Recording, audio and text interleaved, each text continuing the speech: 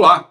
Em baixa, o consumo nacional sofre aí, né, os efeitos dessa pandemia e deve aí se igualar a índices né, de oito anos atrás. Uma pesquisa do IPC Maps estima uma retração aí de 5,39%, a maior desde 1995. E é sobre isso que eu vou conversar agora com o Marcos Pazini, que é, ele é o coordenador, né, Marcos, desse estudo. Isso. Tudo bem? E ele é sócio também, você Tudo também bem. tem a sociedade no IPC Market, editor, na IPC Market Editora, não é isso, Marcos? Exatamente, Sérgio. A gente trabalha com isso há mais de 25 anos e ah. esse ano foi um susto. é, é. Não tem jeito, né? A gente fica aí numa. está numa situação né, complicada em relação a isso. E eu queria exatamente que você falasse, né, a que se deve né, esse cenário todo que a gente está vivendo. Pois é, ele está diretamente ligado à pandemia que levou todo mundo a ficar em casa, essa quarentena, comércio fechado, shopping fechado, e chegamos aí com essa do consumo de 5,39%, e infelizmente uhum. a queda do PIB é maior ainda, de 89% agora para 2020. Quando nós fizemos o primeiro cálculo do IPC 2020, no início de março, a, a expectativa naquele momento era de um crescimento próximo dos 3% do consumo e do PIB próximo dos 2,5%. O ano passado, só para você ter alguns números, o consumo dos brasileiros foi da ordem de 4,7 trilhões de reais. É, na primeiro, no primeiro levantamento que nós fizemos esse ano, primeira estimativa, isso ia chegar a quase 5 trilhões. Inclusive ia dar é, muita matéria, né? Porque podíamos soltar várias, várias coisas dizendo que o brasileiro já estava com consumo quase de, de primeiro mundo e coisas do tipo. Mas duas semanas depois veio essa história da pandemia, todo mundo em casa tal. E hoje o consumo dos brasileiros na ordem de 4,46 trilhões, ou seja, é quase 500 trilhões aí de queda nesse período de, de dois meses, vamos dizer assim.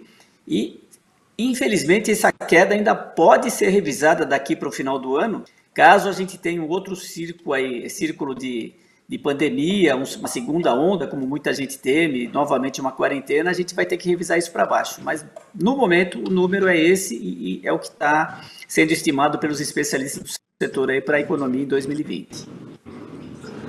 É, a gente vê aí, percebe, né, as empresas né, fechando, enfim, quer dizer, essa questão desse índice de preço ao consumidor, né, que é, esse, que é o IPC, né, é uma situação uhum. né, que é bem delicada. Agora, eu queria saber de você também, nesse caso aí, qual o setor né, mais afetado por essa pandemia, Marcos? É, infelizmente, é o setor de comércio. É, é, antes disso, deixa eu destaque negativo, infelizmente, porque desde que nós fazemos o estudo em 95, é, essa, como você já mencionou no início aí, é a maior queda que nós verificamos no consumo das famílias e é a primeira vez nesses 25 anos de edição do, do IPC Maps que nós verificamos que o número de empresas diminuiu em relação a 2019.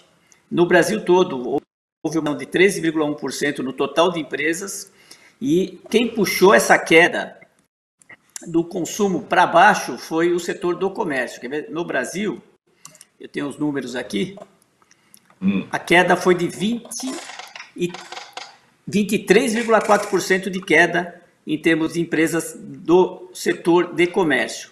Quase 1 milhão e 800 mil empresas a menos esse ano do que você tinha no ano passado. Nossa, e é associado coisa, a isso, né? é, e associado a isso, você tem uma retração no tamanho do mercado consumidor de produtos consumidos fora do domicílio, produtos alimentícios consumidos fora do domicílio, né, que envolve diretamente bares, lanchonetes, restaurantes. É uma queda superior a 40% no volume em 2020 versus o que aconteceu em 2019. É outro baque também para esse ano. Pois é, agora em termos de expectativa, Pazini, é, qual, é, qual, é, a expectativa aí, então, nesse caso, né, para 2021, por exemplo? É, eu estou trabalhando com, as, com os seguintes, é o seguinte cenário, na verdade. Daqui agora, de agosto em diante, a economia começa a dar uma retomada, as coisas voltam ao normal, e caso não ocorra novamente esse cenário de quarentena e tudo mais, é, a partir de outubro a gente já começa a ter resultados positivos e a expectativa para 2021 é um crescimento na ordem de 5%. Então, quer dizer, basicamente o que se perder esse ano, parte, boa parte disso você recupera já o ano que vem. Por quê? Porque a economia vai ter que voltar a girar, o, o governo federal associado ou não ao governo estadual, independente ou, ou de forma conjunta, eles vão ter que tomar algumas ações para estimular novamente o consumo, porque o que se verifica nesse momento é o consumidor muito mais preocupado com o seu emprego e sua renda do que efetivamente adquirir produtos, principalmente produtos a prazo. Então vai ter que ter um estímulo nesse sentido para que o consumo volte a acontecer de forma como acontecia antes dessa pandemia. É, mas mesmo pós-pandemia, né, que a gente também não sabe né, quando vai ser, né, até a descoberta dessa vacina, enfim, é, o mercado vai demorar para se aquecer, né? Novamente, isso aí é fato, né, Marcos? Então, depende. Tem setores da economia hoje que se deram bem com essa, com essa história, né? O setor de delivery, ele aumentou ah, não, muito o, o, faturamento e você vê, por exemplo, que em alguns mercados já tem falta de moto zero quilômetro para entregar para esse pessoal. Quer dizer, num, num cenário desse que está tudo recessivo, você ouve falar que estão faltando motos para entregar para os consumidores que precisam trabalhar, é uma, alguma coisa que chama atenção. É, você tem outras, outras áreas também que basicamente não pararam, né? Por exemplo, a área de processamento de dados, que trabalha com programação e monta é, sites, vendas pelo comércio eletrônico, sistema de delivery uhum. e tudo mais, estão trabalhando também a, assim de forma alucinante. Por quê? Porque a demanda aumentou muito. Aquele comerciante, aquele empresário que ele não tinha estrutura para isso, não adianta ele simplesmente falar que faz a entrega pelo delivery, ele tem que divulgar isso por redes sociais, tem que ter uma estrutura de atendimento, uma estrutura de cobrança e tudo mais. E essas empresas, por exemplo, é um outro exemplo de setor que está indo bem. Então, nesse momento, a gente tem esses, esse sintoma da gente de que a coisa realmente está tá complicada. Mas, é, no meio dessas grandes crises, é que é onde aparecem as maiores oportunidades. E aí, por aí. Tá, você falou do setor agora, vamos então falar de um aqui, que é o agribusiness, né? O que, que justifica uhum. né, esse avanço nesse setor, em detrimento aos demais setores? Então, o agribusiness, seja, ele já não é de agora que ele vem se destacando aí na, é, ano a ano no PIB.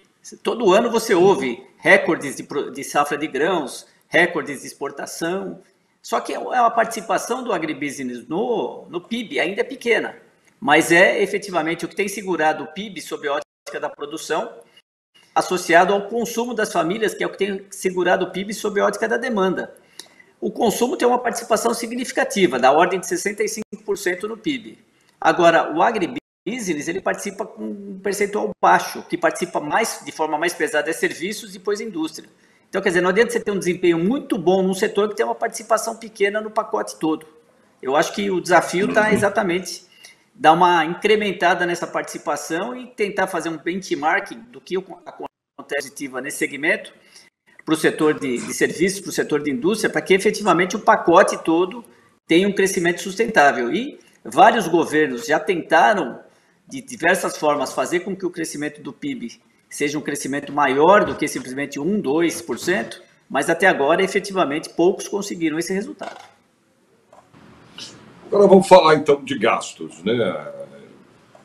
Em que tipo de itens serão prioridades aqui neste ano, ô Marcos? Quanto esses gastos representam aí? Não sei se você pode é, falar disso, né? Em termos de reais aí. Posso? Deixa eu só abrir a minha planilha aqui. Eu já te dou os valores todos. Mas no, o brasileiro, na média, o maior consumo dele é com habitação. Tá? Esse ano aqui vai ser da ordem de 1 trilhão e 81 bilhões de reais. O que é habitação? É tudo que custa para o brasileiro morar, em termos de aluguel, conta de, de luz, água, telefone, TV por assinatura, internet, que agora em época de home office é essencial você ter. Então, é o, o custo mais alto que você tem uh, do brasileiro. Dos 4,1 trilhões de reais da população urbana, você tem 1 trilhão, 1,1 trilhão, basicamente, do consumo com essa categoria. Depois você tem despesas com alimentos e bebidas, que é um setor também de primeira necessidade muito forte. Você tem um, um consumo da ordem de 630 bilhões de reais, também bem acentuado e outro item essencial para o consumo dos brasileiros. Nesse ano de 2020, o que chamou atenção, fora desse padrão de é, despesas básicas, é, refere-se a gastos com veículos próprios. 480 bilhões de reais os brasileiros vão gastar com manutenção do seu próprio veículo. Né? E isso é explicado pelo aumento do sistema de delivery, né? a demanda maior da população pelo, por esse sistema de delivery. Esse sistema de delivery gera um faturamento mais alto, mas exige do consumidor abastecer o seu veículo é, de forma mais frequente, ter uma manutenção mais frequente, e aí esses valores de consumo subiram dessa forma. E não só o delivery nesse, nesse é, impactando o, a questão do, do veículo próprio, mas também é, a questão dos é, transportes por aplicativo. Né? Muita gente que ou até está empregado ou perdeu o seu emprego, é, partiu para Uber, 99 e outros serviços de aplicativo, e isso também mexeu na cesta de consumo da população. Basicamente são esses os principais gastos que você encontra da população. E os setores que vão ter aí menos gastos, ô Marcos? Pois é. o destaque aí para mim é esse setor de alimentação fora do domicílio, tá? Que desse ano aqui tem uma movimentação de 192 bilhões de reais. O ano passado, só para você sentir o tamanho da coisa, era 226 bilhões de reais, é uma queda significativa de 14,4%, menos nas despesas de alimentação fora do domicílio. Quem reduziu bastante também aqui foi é, despesas com mobiliários e artigos do lar, ou seja, compra de móveis, população de, reduziu em 24% o consumo dessa categoria. Eletroeletrônicos, uma queda de quase 40% no montante que, de gastos nesse ano em relação ao que foi gasto em 2019. Deixa eu ver o que mais você tem aqui. Viagens, 25% abaixo as despesas esse ano em relação ao que foi o ano passado. Bom, viagens, né? Nem Como é uma fala, despesa né? pequena. pois é. Não, mas eu digo assim. Mas aí você tem o um retrato você tem os é, números é, atualizados mesmo... para você poder. Você sai do cheiro, né? Eu acho que muita gente sabe que a coisa nesses setores não está boa, mas de repente aqui você tem o tamanho efetivo de quanto era e quanto vai ser esse ano, para você de repente saber o tamanho do buraco. É, é verdade. Mas diante de toda é, né, essa pandemia que a gente está né, vivendo aí, você tem mais ou menos ideia, uma previsão aí de consumo, assim, eu digo no geral, no Brasil? É, em que sentido? Previsão de que tipo? É, do, do consumismo, né? Em todos os setores, você tem uma previsão assim? Né? Você citou é, eu, o setor. A, ah, Está exatamente nesses números do IPC Maps. Você tem o quanto era o ano passado, o quanto é esse ano, e essas variações todas que, que, que a gente verificou em relação a esses hábitos mudaram agora em 2020.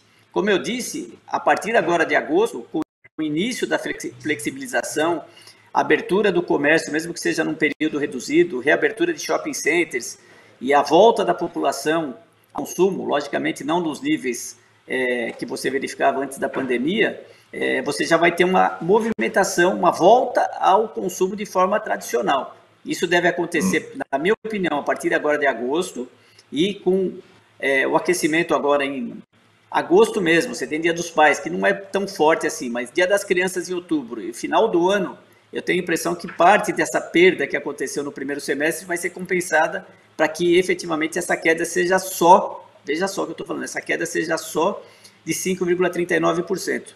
Se não for feito nada, a população efetivamente um emprego como é o que a gente está verificando agora com o fechamento do grande número de empresas que está acontecendo, principalmente do comércio, e não for feita nenhuma ação de estímulo ao consumo, essa queda de 5,39% ela pode ser maior ainda, pode chegar aí na casa facinho dos 10% de queda.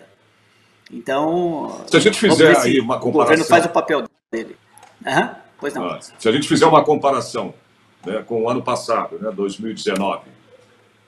É, qual foi essa queda em relação ao ano passado do consumo? Então, como eu disse, o ano passado tem... a, o consumo foi da, da ordem de 4,7 4,7 trilhões o ano passado. Real. A 4,7 ano... trilhões? E esse ano, 4,465, uma queda de 300, quase 300 bilhões de reais no bolso da população. E foi isso, aliás, Sérgio, que fez com que nós divulgássemos que os valores do potencial de consumo nesse ano, com essa queda de 5,39%. Em 2015 e 2016, nós tivemos também quedas acentuadas da economia. É, então, associado a essas quedas, 2015 e 2016, pequenas recuperações que aconteceram em 2017, 2018 e 2019, da ordem de 1% o PIB e o consumo entre 1,5% e 1,9%. E agora, novamente, essa queda de 5,39% é por conta disso que, se você descontar a inflação e comparar valores só com crescitivo ou negativo, é que nós voltamos a níveis de 2012 em termos de dinheiro no bolso da população. Vamos falar entre aqui capital e interior, né? Um levantamento aponta aí que, a exemplo aí desse ano que a gente está falando, do ano passado, de 2019, Sim. né? As capitais seguirão aí perdendo espaço, né? É, no consumo, Sim. respondendo aí por 28,29% desse mercado. Né? Agora, enquanto isso, o interior né, diz que vai avançar com 54,8%, bem como as regiões né, metropolitanas, cujo desempenho vai equivaler aí, ou equivalerá a 16,9% neste ano. A que se deve esse cenário, Marcos? Então, é, quando a gente começou a fazer esse estudo, 90, as 27 capitais chegaram a ser responsáveis por 45% de todo o consumo brasileiro. Tá? Só as 27 capitais.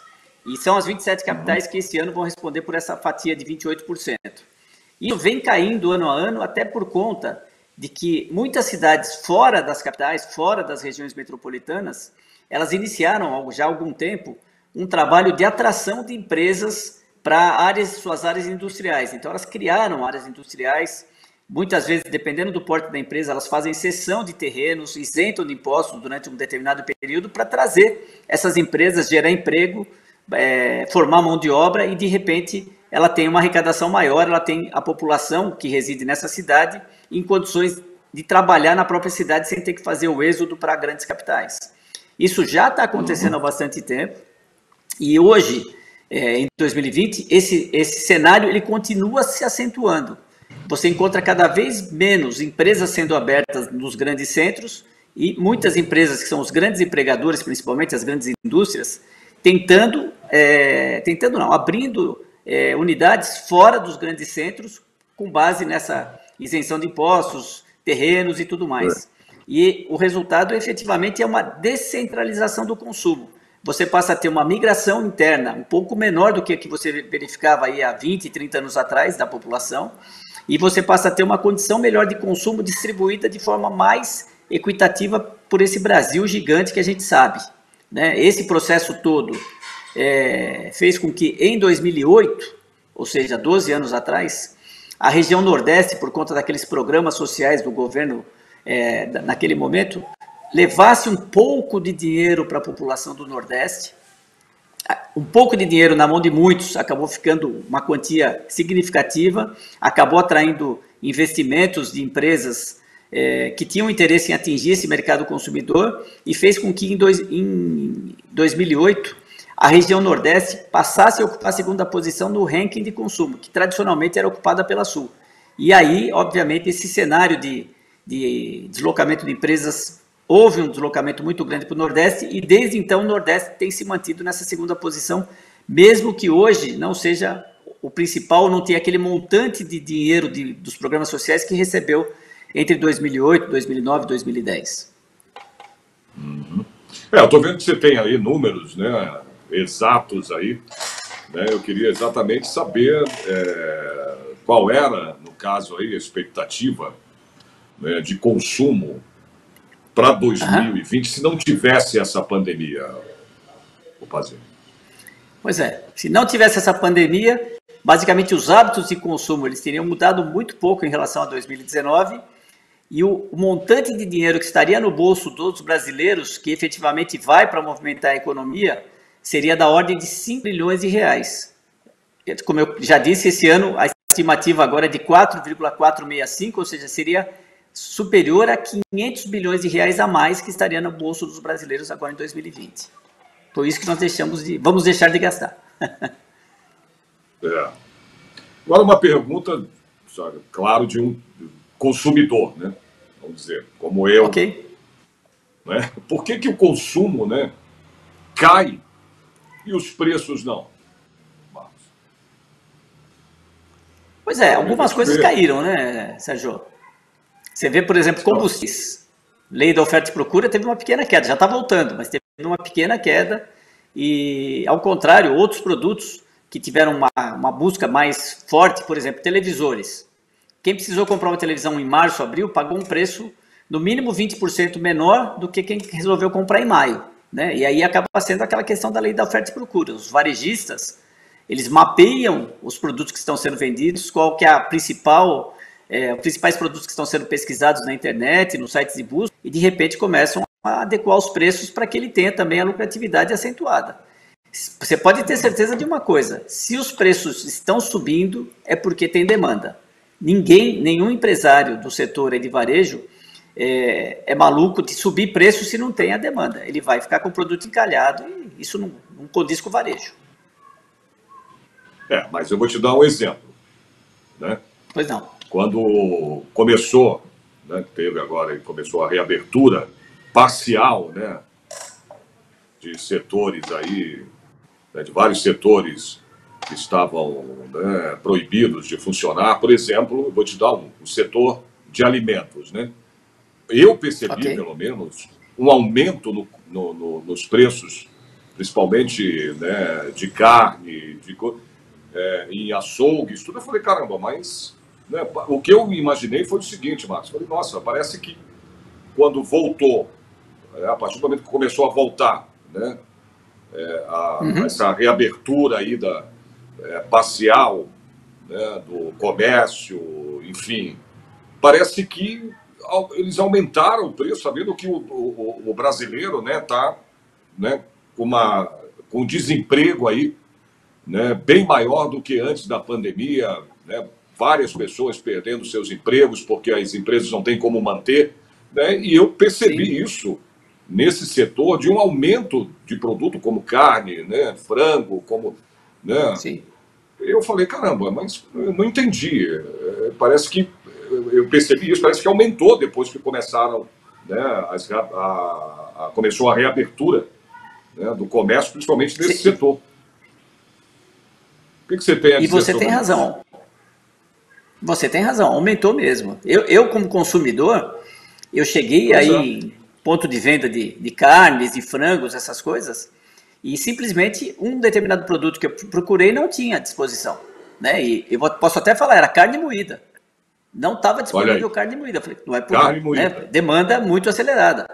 Agora, não, raciocina além de comigo. Não está, não, não ter a, não. A, uhum o produto, caramba, era, o impressionante era o preço que que estava, entendeu? Preço. O quilo de uma carne moída de 30 reais aí para cima. Eu falei, gente, era... então isso assusta também, né? Pelo momento que a gente está passando, né? Você não tem dinheiro, perdendo empregos, é. né?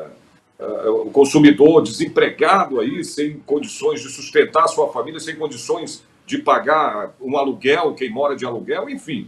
Né? E eu percebi isso, eu falei, nossa, e o preço da carne aumentou. Logo que aumentou efetivamente. começou aí né, a reabertura do comércio. Então, mas aí é um então, contraponto, fica... Sérgio. É um contraponto ah. da redução das despesas com alimentação fora de casa.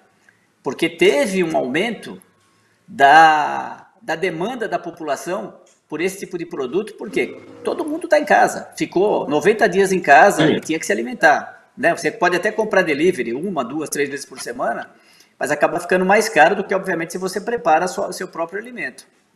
Então, o que acontece é que esse setor de carnes, por exemplo, ele deixou de vender para os transformadores, para os restaurantes, lanchonetes e tudo mais fechados, ou reduziu as suas vendas só para aqueles restaurantes, de repente, que saíram, conseguiram entregar pelo sistema de delivery. E é muito mais fácil ele oferecer os produtos com uma determinada qualidade, maquiado muitas vezes e com preço mais alto para o consumidor do que para o hum. transformador, do que para o ponto de venda que, você dá de concordar comigo que hoje, se você olhar o comerciante, o restaurante, a lanchonete, o bar, e olhar você é, como pessoa física, você fala, aquele cara tá pior que eu. tá certo? Então, é mais fácil você repassar um aumento para o consumidor que efetivamente para o comerciante. E é isso que está acontecendo efetivamente. E o consumidor, infelizmente, a maioria deles paga. e aí eles continuam aumentando. É, como sempre, né?